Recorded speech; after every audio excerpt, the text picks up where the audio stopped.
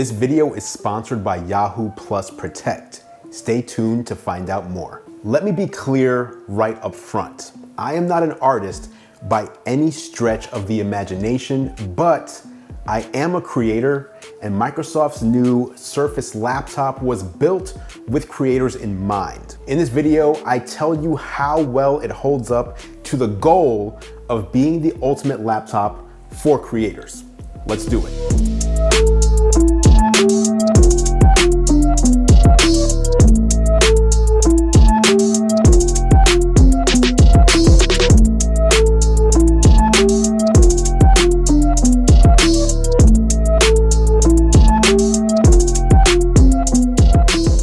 Familiar with the Microsoft Surface lineup, then the Surface Laptop Studio should give you a familiar vibe to the larger Surface Studio desktop computer. You know, the one that you can easily switch into an easel and has that fancy dial accessory. Well, the Surface Laptop Studio has a similar trick. Before we jump in, I will also be doing a full review of Windows 11 itself, so be sure you hit the subscribe button so you don't miss that one. Let's talk about the three studio modes. The display has three different main positions. First, there's the standard position that you expect and are used to if you've ever used a laptop.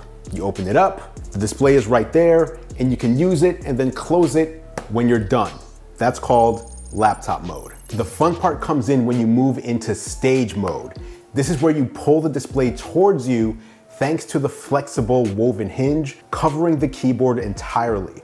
Now you're relying on the trackpad, the touchscreen, and if you have one, the Surface Slim Pen for navigation and control. More on that accessory in a minute, but in this mode, you're more optimized for things like watching videos, doing presentations, and playing games by bringing the display closer to you and avoiding distractions. It doesn't stop there though because you can push the display all the way down with a slight angle towards you into studio mode. This is where you can get creative with the Surface Slim Pen 2 by drawing, writing, and sketching with the laptop studio display acting as your digital canvas. And speaking of that display, let's talk about it. What you're getting here is a 14.4 inch 120 hertz touchscreen PixelSense Flow display with support for Dolby Vision HDR at a resolution of 2400 by 600. The display looks really great. It's vibrant, full of color,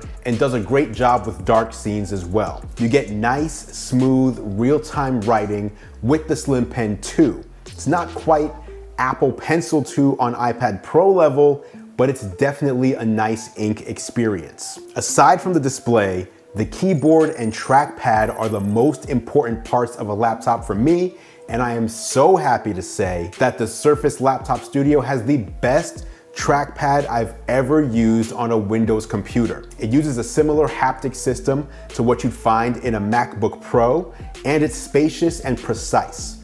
You can click anywhere you press, and it even supports multi-finger gestures like an absolute boss. Great job on this one, Microsoft. The keyboard is also good, no complaints with its 1.3 millimeters of travel.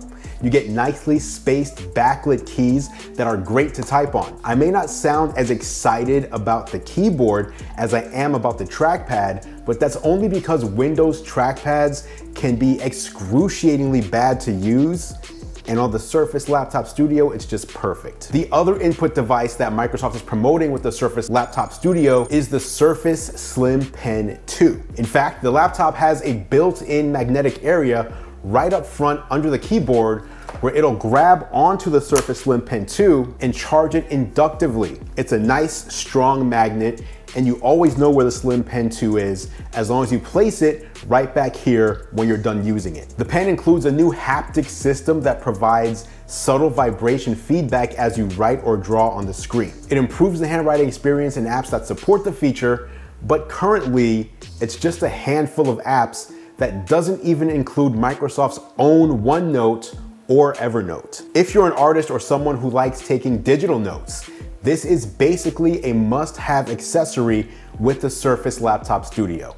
It really feels like an important part of the experience of the device, even if it costs an additional $130 to pick up. Before we talk about the potentially head scratching connectivity options on the Surface Laptop Studio, I wanna give a big thank you to the sponsor of this video, Yahoo Plus Protect. Yahoo Plus Protect is a simple way to cover your tech purchases and get US based 24 7 tech support for those products as well. This means almost any tech issue with eligible home devices you currently own or buy in the future. It covers all eligible devices that you own, regardless of when and where you bought them. So no need to dig up old receipts to get help with your home tech devices. On the protection side, accidents, mechanical breakdowns, and more are covered. Yahoo Plus Protect will repair, replace, or reimburse you for covered problems with your devices, and you can even get an in-home visit for your tech issues. Protect and get support for all of your laptops, TVs, game consoles, tablets, and more for one low monthly rate with Yahoo Plus Protect. Hit the link in the description if you want to check it out for yourself. And once again, big thank you to Yahoo Plus Protect for sponsoring this video. Now let's get into connectivity because there's something lacking here for a computer that's aimed at creatives. Rather than giving us the variety of ports that we're used to on the Surface Book side of things, the Surface Laptop Studio gives us just two Thunderbolt 4 ports. Then on the other side, a headphone jack and the proprietary Surface connector port. That's it. Now don't get me wrong, I love seeing Thunderbolt 4 here, but where are the SD card slots or HDMI? The typical ports that creatives across various industries might use are missing. As for wireless, it's got Wi-Fi 6 for networking, no Wi-Fi 6E, along with Bluetooth 5.1. The other area that I'd have to call disappointing is gonna be battery life. I was able to get right around five hours of battery life from a full charge when doing my typical work consisting of using apps like Edge, Outlook, Twitter, Discord, Notion, and a few others. Five hours in 2021 just isn't great when compared to other laptops at similar price points that are also focused on productivity. Now, one potential reason for this is the 120 hertz display. It's supposed to be an adaptive 120 hertz, which means it can go up to 120 hertz, but can also go a lot lower. Well, the dynamic refresh rate didn't ship when the laptop studio shipped because it's gonna come later as part of an update to Windows 11. The other reason though is that the Surface Laptop Studio has a 58 watt hour battery. For comparison, the Surface Book 3 has an 80 watt hour battery. Basically, I found myself reaching for the charger way more often than I do with any other modern laptop that I've used over the past year or so. So when considering who this is for, the Surface Laptop Studio is an interesting laptop. It's more performant than a Surface Pro or a Surface laptop. And it offers a unique multi-orientation display that appears to be nicer the more artistic you are, or at least the more of a digital ink user you might be. If that's not you, then you might never even use studio mode. And that's the namesake of the computer. If you plan to use this for creative and productive work, and you're a Windows user, I think you're in for a nice premium experience, especially if you stay plugged into power. It's really the poor battery life and the high price that stand out to me as the things that I wish were different. The Laptop Studio is available in a few configurations, starting with an Intel 11th Gen Core i5 and integrated Intel graphics.